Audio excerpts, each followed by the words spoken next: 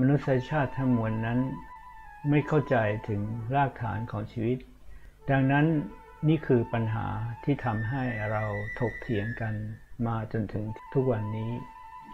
แม้ว่าเราจะมีปรัชญา มีศาสนามากมาย มีวิชาการต่างๆมากมาย แต่เราก็ไม่สามารถที่จะตอบปัญหาว่าชีวิตนี้คืออะไร นี่จึงเป็นสาระสำคัญที่เราจะต้องเข้าใจพื้นฐาน ที่เหมือนกัน แต่เราจะต้องเข้าใจว่า ความสลับซับซ้อนนั้นมีพื้นฐานที่เรียบง่าย ทุกคนนั้นล้วนเกิดมาจากพ่อแม่ พ่อแม่ก็มีพ่อแม่ นี่คือรูปแบบของครอบครัว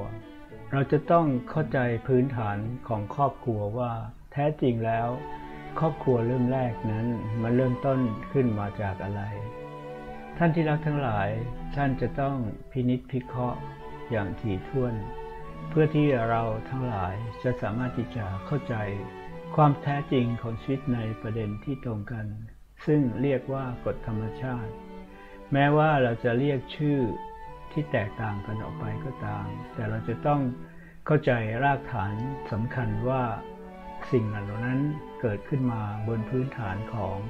ครอบครัวนี้อย่างสมบูรณ์